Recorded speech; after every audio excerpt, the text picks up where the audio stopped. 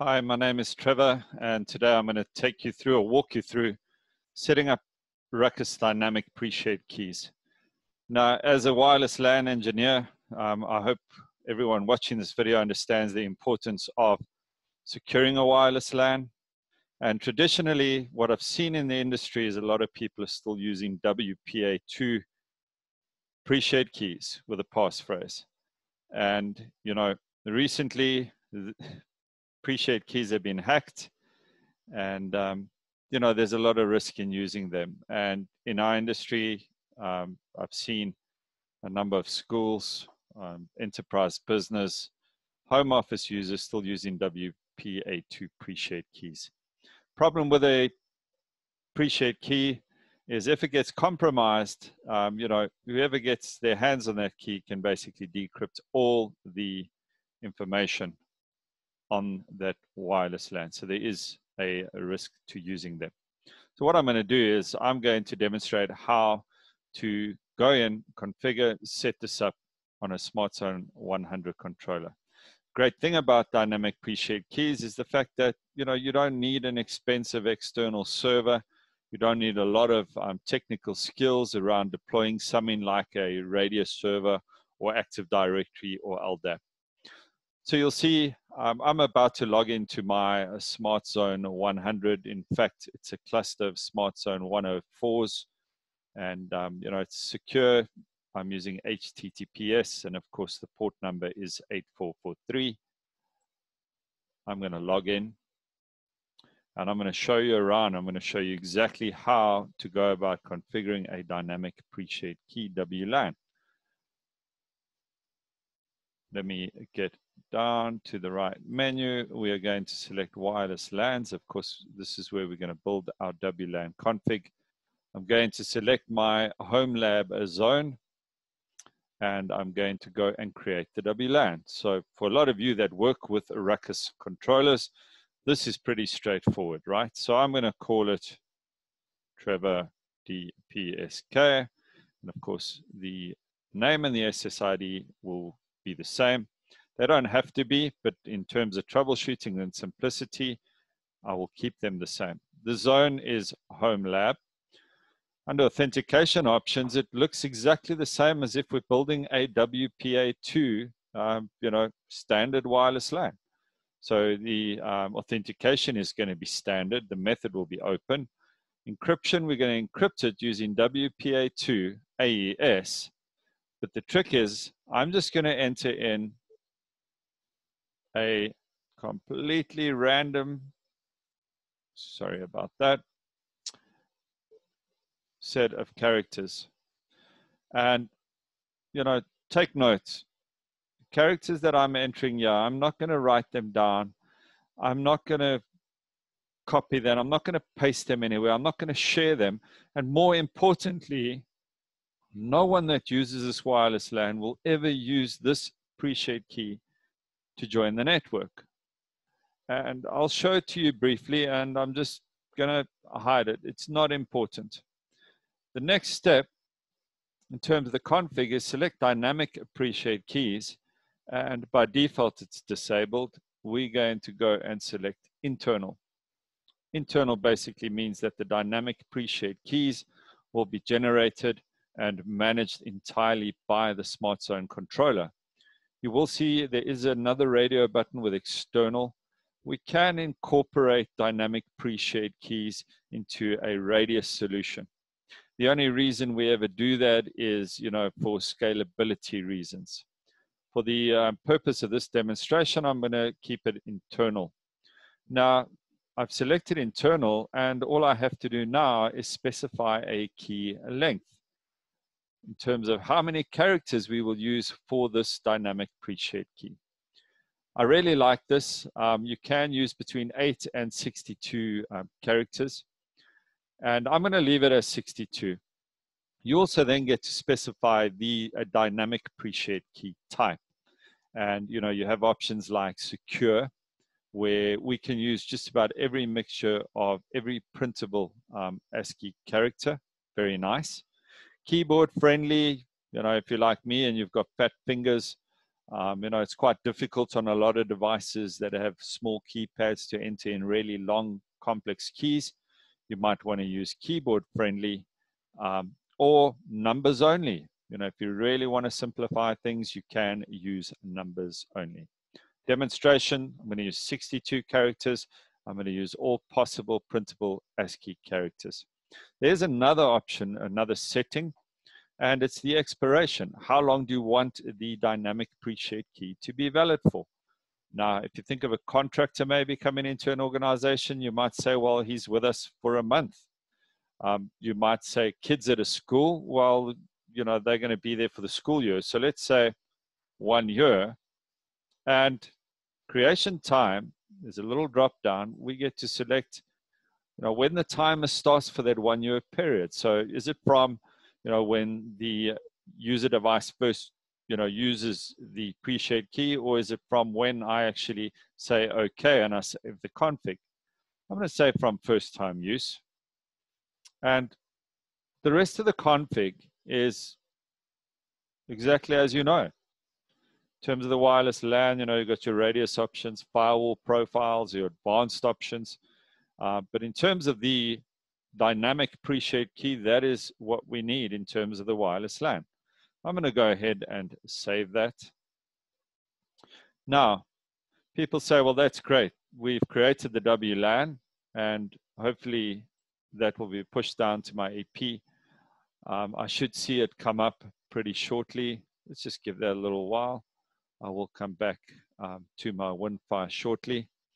Anyway, there is the SSID and you'll see the encryption method is WPA2. So people say, well, that's cool. So the wireless LAN is there. Now, what do we use to join it? Remember I said in the beginning of this video that we will not expose the WPA2 pre-shared key that we configure when we create the WLAN. Now at this point, we actually need to go in to the clients menu, scroll down until you see the dynamic pre-shared key menu select that. And now we need to go in and actually create a dynamic pre-shared key. Very cool. It then says to you, well, hey guy, um, you know, please select the zone to show the generated dynamic pre-shared key. So in other words, we're selecting a zone, um, you know, that we're going to use now to go in and actually create these keys. I'm going to select my home lab and you'll see there's a number of options. So for the purpose of this demonstration, I'm going to just click and say, generate a dynamic pre-shared key. There's a drop down. It's going to ask you, well, which WLAN do you want to generate the key for? You know, in a school environment, you might have different um, DPSK WLANs in different areas. They might be on different VLANs, etc. I'm going to say Trevor DPSK. I'm going to personalize this because it's a single DPSK that's going to be used by myself. And you know, the passphrase I can leave blank. In other words, the controller will generate the passphrase for me. Uh, we also have a user role option. So it's really, really cool. You might have um, some firewall profiles or user traffic profiles configured, um, you know, and you can actually tie those user roles with the profiles to the dynamic pre-shared key. Very nice. We can also drop a user using this key into a specific VLAN. I'm going to use one. It's my default W, uh, my default um, VLAN untagged. And there's an option for group or no group DPSK. Group DPSK means that this dynamic pre-shared key can be shared across multiple devices. I'm going to say no, and I'm going to say generate. You'll see it now says one dynamic pre-shared key um, was um, successfully generated. Um, at this point, all we need to do is download that CSV, and I'm going to go and open it up directly in my Excel. There you have it. Let me just expand out some of these tabs. And of course, the most important tab that we are looking for is, of course, our newly generated dynamic pre-shared key. What I mm. like about this output is it tells me one thing about the dynamic pre-shared key type. this type of key that I've generated here is considered an unbound dynamic pre-shared key. It is not bound to any specific device MAC address. And anyone that gets the key that joins the WLAN using this key, you know, would then be bound to this dynamic pre-shared key. So there's a bit of terminology and a, and a major difference between a bound DPSK and unbound. At this point, the key is unbound. However, you know, in the config, I can go and download a CSV file first. I can populate these fields. In other words, I can go and automatically put in my own passphrases, my only usernames, and their MAC addresses. And then import that CSV into the controller, and it will use that information to generate the pre-shared keys. So that is considered a bound dynamic pre-shared key. In this case, it's unbound. And all I'm going to do now is make sure that I copy that key. Now, to demonstrate how well this works, I am going to take a look and see, number one, that I can see Trevor DPSK. The WLAN is there, which is absolutely fantastic. The next step, of course, would be to go and join that dynamic pre-shared key. Using that dynamic pre-shared key, I'm going to join the network. And there we go, Trevor DPSK. And um, hopefully it's going to come up now and ask me for the key. There we go, copy and paste. And that is that very complex 62 character key that was generated. I'm going to then say next as you can see, uh, my laptop has successfully connected to the dynamic pre-shared key. It says, or to the WLAN using the dynamic pre-shared key. It is a secured connection. And I'm now going to go back to my controller, just close out that screen. And I'm going to show you, there is the record for Trevor DPSK. Let me just refresh the screen and you'll see it is now bound and it is bound to my WLAN adapter um, MAC address. So in other words, I have joined you know, this WLAN using the dynamic pre-shared key as my passphrase. And if we now go and have a look under clients, wireless clients, there we are. There's laptop Trevor Stevens. It's a Windows device. There's my IP, my Mac, A9B5 on my WLAN adapter.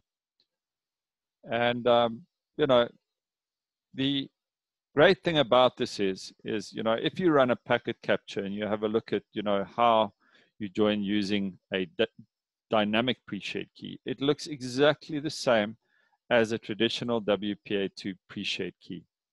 Um, you know, of course, the difference here is, is that every single device that joins this network, you know, joins using his own, um, you know, individual dynamic pre-shared key that is linked to his device MAC address. The beauty is, of course, if you think of a school, if someone goes and loses a device, it's quite simple. We delete the dynamic pre-shared key and that device cannot rejoin the network. So for lost devices, stolen devices, and think of a, a scenario, maybe an administrator a school, at a school. If the network was running a traditional WPA2 pre-shared key, and the key was compromised, that would mean the administrator would need to go into the wireless LAN controller and you know configure the WLAN with a new pre-shared key. That would mean that every single device that was connected to the network would now need to get the new pre-shared key to join. Um, causes a huge, um, you know, administrative um, nightmare using dynamic pre-shared keys, you know, all you need to do is get the key to the user and um, let him join the network using his individual key. And, um, you know, again, it's, it's very secure. There's no need for external servers. It's very, very simple to manage, very simple um, to implement and configure. And, um, you know, I hope this video adds a lot of value and, um, you know, starts out a thought process about using these going forward of course, they are a lot more secure than traditional WPA2 pre-shared keys. Thank you very much and um, have a super day. Thank you.